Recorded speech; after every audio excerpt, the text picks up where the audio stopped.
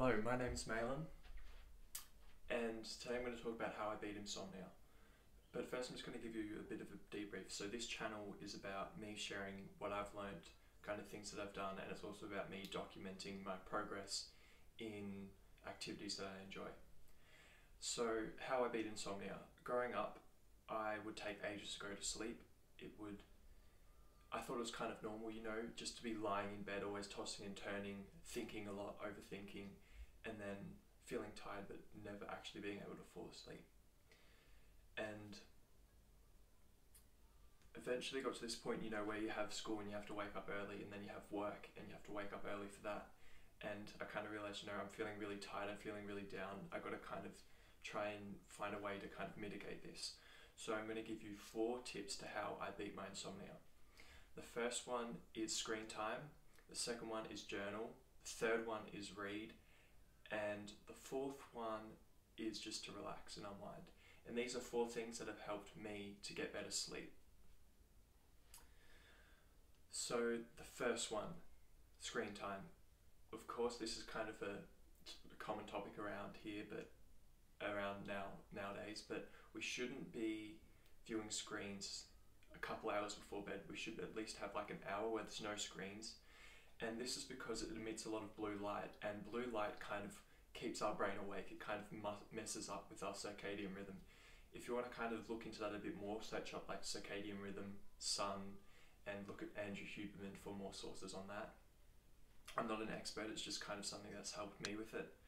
And you can also get these, I'll actually show you, you can get these blue blocking light glasses and they block blue light and you could wear them at night if you are going to watch if you are going to use your screens or if you have to for work or you want to whatever or you're going out and it's kind of dark and there's going to be lots of light you can wear this.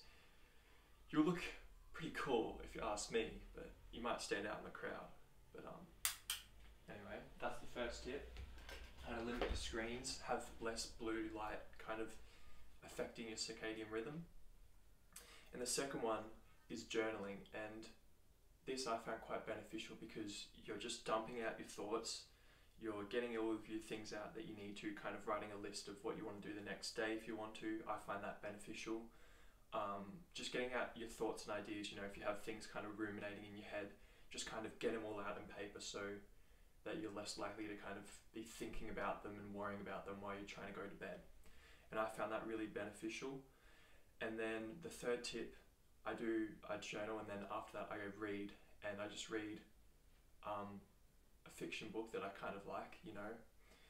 Um, and this is kind of nice because it's just kind of like winding down, you know. It's kind of like an easy to read. I've always loved reading, so for me it's enjoyable. Maybe you could find something else that's kind of quiet and easy, that's not too stimulating, which is another tip I'd give. Um, if you're trying to beat insomnia, fall asleep better, have better sleep. And then after that, I just generally have just this wind down kind of, you know, this is all like winding down, you know, slowly getting myself ready for bed.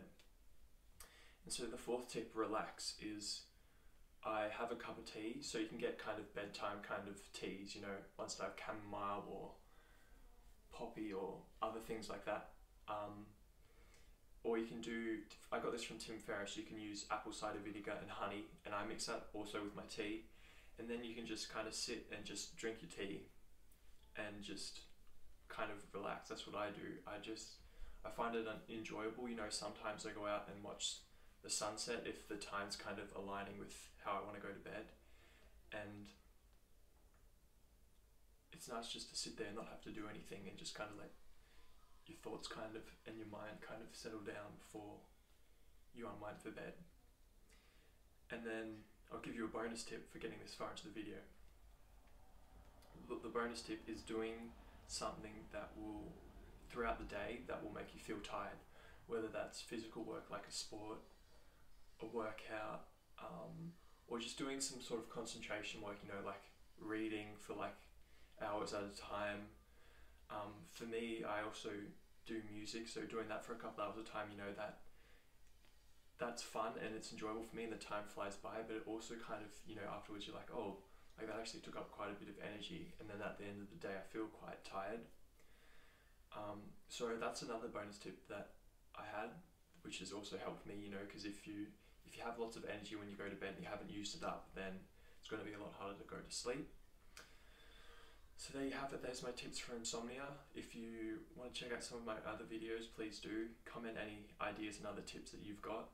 And it feels so cringe to say this, you know, like and subscribe. Ooh, like me and subscribe. Yeah, yeah. But I really would appreciate it, you know, and I haven't been saying this, and I should be saying, you know, like and subscribe because that's how this YouTube channel can grow. That's how I can get more feedback from other people.